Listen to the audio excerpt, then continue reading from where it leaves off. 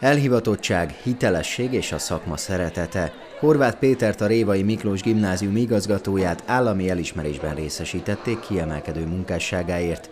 Az Ötvös József díjat még 1999-ben alapították, és az oktatási miniszter adományozza az oktató-nevelő munka elismeréseként.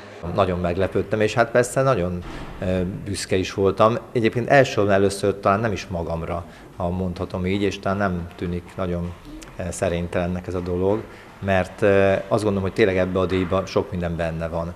Maga az iskola is, az iskola hírneve, az eredményei, nyilván a nyugdíjas kollégáim és a jelenlegi kollégáim, akik nagyon sokat dolgoztak, hogy ez így legyen, és azt gondolom, hogy benne vannak nyilván azok a tanítványok is, amelyek, akik az élet sok területén megállják a helyüket, elsősorban először az egyetemeken, főiskolákon, és aztán kikerülve az életbe is. A Révai Miklós Gimnázium hagyományosan a legjobbak között szerepel a középiskolák rangsorában, amiben, ahogy a szakember fogalmazott, az egész tantestületnek hatalmas szerepe van.